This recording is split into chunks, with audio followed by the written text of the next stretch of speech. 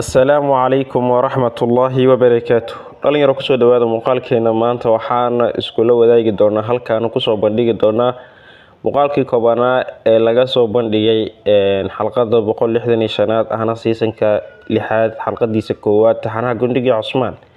Wixii aan ku daawanay ayaanu halkaa markaasi uga hadli doonaa. Fadlan haddii janaalkan ku cusub tahay subscribe inoo saar horey haddii noola joogtayna daawaday muuqaalka inoo laagaray aada iyo aad ayaadna u maasan tahay. Intaynan gudagelin muuqaalka ka horena ku saliya xabiibkeena moxamed sala allahu calayhi wasalam hadeerna si toosa aynu u gudagalno muuqaalkeena maanta. Warin horta goosgoosku wuxuu ahaa mid aanan wax hadal ah lahayn balse aanu arkayn oo keliyaatee dhacdooyin maha ka dhacaya. Anagana aragtida wax kuma qiimeyna waxaa wax ku qiimeynaa markaasi in la hadlo si aan u fahanno markaasi waxa meesha ka dhacaya waxa ay ahaayeen. Haddana waxaa ku qasbannahay maadaama goosgoosku bahal xiraalo uu ahaa inaanu fahanno waxa meesha ka dhacaya waxa ay ahaayeen.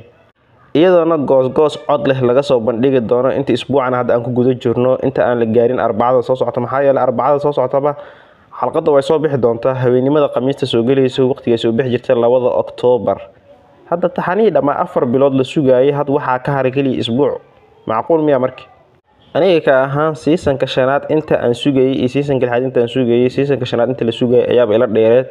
Laakiin siisanka lixaad si fudud ayuuba ku yimid ayaan dhihi karaa waqtiga ayaa socda. Kulley qiyaamaha u sii soconaa waqtiga zaa-id uu urduwa marka aanu soo laabano bal idin soo celiyo oo aanu ku soo laabano wixii aan goosgooska ku daawanay aanu ka hadalno.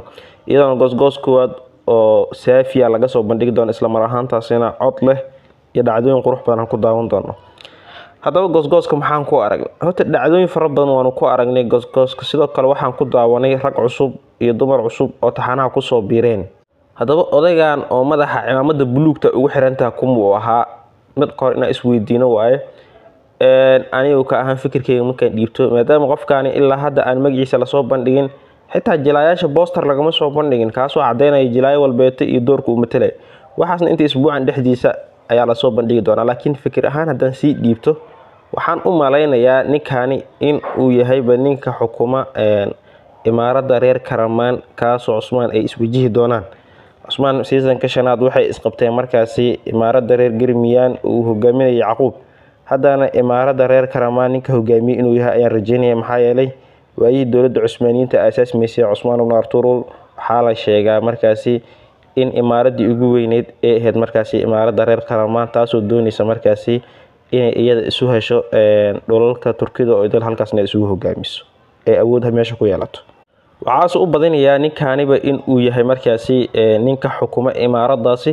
Waa odaygan islamar ahaantaasna cusmaan ay iswajihi doonaan ninkan ayna isqaban doonaan. Waxay kala helaan unbayna leeyihiin. Ninka cusmaan daba joogi doona ninkaanu noqon doonaa siisanka shanaad haddii cusmaan uu yacquub daba taagnaay siisanka lixaad ninkaana daba taagnaan doono kuley ninkaana gabadha taxanaha ka soo muuqatayna inuu asaga dhalay ayaan rajeynayaa oo gabar cusub ayaa taxanaha ku soo biirta sidaan arkeyno dhalinyaro ah. Isaga xaaskiisii gabadhiisna isla socdaana fila wiiloo dhalo laakiin aniga ma arag waan rajeyneynaa asagana sidoo kale inuu ka soo muuqdo. Laakiin waxaanu arkaynay wiil dhalinyara oo cusub asagana oo garabka cusmaan ka dagaalamaya ciidamada cusmaan la socdan waa arkaynay oo raggii lagu soo daray taxanaha ayuu ka mid ahaa. Qeyb ayuuna ka yahay kaasi inuu asaga dhalo uma malaynayo oo maxaa yeelay kaasi cusmaan garabkiisu ahaa ciidamada cusmaan mid ka mid unbuu noqon doonaa. Qofkaasina magaciisa weli lama shaacin. Wuxuu noqdaaba waan arki doonaa kulley boosdag wuu kaa yaabsan karaa doora wuxuu noogu dhigi karaa. Markaasi axmedkii markaasi yaraa ee siisankii labaad ee taxanaha gundhiga cusmaan iyo siisanka saddexaadba ku jiray. Maadaama siisanka afaraad dhammaadkiisii la dhihi jiray markaasi waa uu soo socdaa. Islamar ahaantaasina wuu soo laabanaya axmed oo baala mar ee orhaan iyo cala addiin uga sheekeynaysay inuu axmed soo socdo. Siisan shanaadaa bilaabmay oo dhammaaday lamana arag. Siisanka lixaad anigu waxaan rajeynayaa wiilkaasi waa wiilka cad dadka dhan waa cadyihiin war ninka zaa-id uu cadyahay macnaha waa cadaantii waa dadka oo sida loo yaqaano ma ahan macnaha war ninka ninka timabasaligan ka hadla aniga. Kaas waaye ninka aan ka shakisanahay inuu axmed jilayo soomaalidaas ka dhib badan noocaasoo kale waxay dhahaan weji sambab ayay dhahaan marka waa la iska yaqaanaa fila. Marka sidaas darteeda adinkusoo ma rajeynaysaan inuu noqdo doorka axmed ninkii mateli lahaa cusmaanna garabkiisa uu noqdo. Anu waa xiiseynayaa inuu noqdo balse waa laiskuma helaya. Halka asxaabta qaar isu weydiinaya actimur actimur taxanaha ku soo laabanaya ninkaas waa baxay daysana waay marka hortiisa hor alla waay taxanayaal kale ayuuba iska bilaabay doorkiisa maha ku arkaa? Boosdag wax kasta ka suurtooban laakiin asi doorar cusub rajeynaa waay waxaa kaleeto aragnay baala iyo gabadhii faadima la dhahayay iyo goonja iyagoo cararayaan. Maxaa dhacay marka waaye waxaaba u filayaa hadda qabriyaa la qodqodaya meeshaas sidaan arkeyna qabriyaa la qodaya waxaan filayaa markaasi in qof iyaga ka mid ah markaasi loosoo sheegay in uu dhintay amaba la dilayba. Sidaas darteedana qoyska dhan ay isku naxeen halkaasina ay u carareen. Maxaa yeelay cusmaan iyo ciidamada oo dhan waa ay baxeen. Dadkana warka markay maqlayaan waxay u egtaa markaasi iyada oo laga kala maqanya qabiilka loona sheegay markaasi dadkooda in la baabiyey goorba isla mar ahaantaasina la aasay iyaguna sidaas ay u soo carareen. Maxaa yeelay cusmaan iyo waxaan arkaynay iyaga oo markaasi qalcad cusub oo ay bisandiiniyiinta leeyihiin si dhuumashaha ku galaya doonayana markaasi inay furtaan. Madaafiicna waa ay wateen sidaanu meesha ka arkaynay dhanka kaleeto laadir weyn ayaa taxanaha ku soo biray waana ninkii albarslan seasonka labaad wareerinaya waaye. Ninkaanina markaasi doorkiisa waa door caalami ah waxaan arkaynaa markaasi isagoo wiish ku soo degayo wiish caalami ayuu ku soo degayaa. Waana wiish oo haduu ilaah idin idmaayo. Laba silsilada anaga alwaax intoo dhexda nooga soo xirto wiish nooga dhigaa ka waxaas. Waxaan dulli waay kulley waqtigaas wiishka jira noocaas ayuu ahaa waana nooc caalami ah. Taxanihii saljuuqiyiinta gaan ku daawanaya ayuu nagu egya kaasaaba caalami ahayba laakiin kan waa aada u liitaya. Marka ninkan ujeedka aan ku sii socono ninkan waa askari bizanti ay soo dirsatay isla mar ahaantaasna loo soo diray inuu ka hortago furashooyinka cusmaan uu sameynayo iyo dhulalka markaasi bizantiniyiinta uu gacanta ku dhigay. Wuxuuna noqon doonaa markaasi ninka cusmaan ay iswajihi doonaan. Seasonka lixaad waxaana rajeynayaa ninkaani sida albarsalan uu ku sameeyey oo kale inuu cusmaan ku sameyn doono oo doorkiisana awood uu yeelan doono. Taxanaha markaasooba fiicnaanayaab saa aaminsana aniga.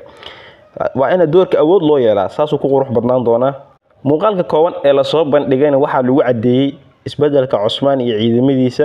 Waxaa kaloo lagu caddeeyey ninka cusub ee hadda aan rajeynayay inuu xukumayo imaaradda reer karamaan oo awoodda ah iyo laadirka markaasi ciidanka bizanta ka socdo hawaanduulaha weyn. Saddexdaasa muuqaalka ta uu ku bilaabma qaab ahaan marka loo fiiriyo oo cusmaan iyo ninkaas iyo ninka kale waa. Marka waxaa u malaynayaa markaasi awoodda cusmaan saddexdan qof inay noqon doonaan macnaha saddexda qof markaasi saameynta ku yeelan doonaan seasonka lixaad. Cusmaan waaba la iska yaqaana marka horeba laakiin labada nin inay labada nin noqonta u lahay ay yihiin. Yaasoo u malaynaysaa markaasi baala iyo qabriga ee qodayay markaasi in meeshaasi lagu aasay amaba dhibaatada dhacda maxaad u filaysaan? Ani wixii fikirkeyga unbaa idiin sheegoyaa waxna waa qaldami karaan waxna waa sixmi karaan. Maxaa yeelay muuqaalku wax codaa muusan lahayn. Marka sidaas darteeda adiguna fikirkiina dhanka hoose ayaad nagula wadaagi kartaan daawadayaal insha allah hadda kadibna markaa muuqaalada taxanaha gundhiga cusmaan ama xalaqooyinka soo baxa aanu qiimeyneyno waa qiimeyn doonaa. Macnaha waxaan ka wadaa markaan daawano xalqadda xidiga ayaan siin doonaa hadduu ilaahay idmaayo. Iyaga waxay rabaan iska soo qorqortaan. Xalqadda haddii xalqad fiican noqon weyso shan xidiga horta wax aa ku qiimeynaa hadday fiicanta shan xidiga lagu qiimeynaa hadday liidato ay liidato ewer ee tahayna kulley waxaa siinay leedahay hal xidig iyo wax ka yar haddii rabta qaadato xalqadii ugu fiicneed seasonkan si aan ugu ogaano. Maxaa yeele waa iska daawanaa anaga taxanaha isla mar ahaantaasna xalqadba xalqad ka fiican. Ma dareemuna hataa waxa ay tahay? Marka insha allah halkan aan iskula wadaagi doonaa qof walboo daawadana xalqadaasi commentiska ayuu inooga soo qori doonaa markaasi. Inta dhibco markaasi ay u qalanto iyo xalqad fiican in ay tahay. Xalqadda hadday faloobta ama hiid hadee tahay ama super hiid hadee tahay halkaas iskula wadaagi doonaa. Hore waqti badan inaan idinka cuno ma rabe muuqaalkiitaasaan ku soo koobayaa. Insha allah isbuuca soo socdo iyo taxanaha gundhiga cusmaan iyo seasonkiisa lixaad oo la bilaabay ayaanu halkan iskula wadaagi doonaa. Fadlan janalka hala subscribe gareeyo. Muuqaaladan hala like gareeyo. Xoogaa janalkan cilcilada iska jirta marka wuxuu u baahan yahay like fara badan u baahan yahay. Marka like gareeyaba idinkoo aad iyo aad maasantihiin muuqaalka inuu like gareeyo. Taan ku kulmi doono muuqaalka muuqaalkiisa waxaa idinkaga tegaysaa salaamka. Asalaamu calaykum waraxmatullaahi wabarakaatu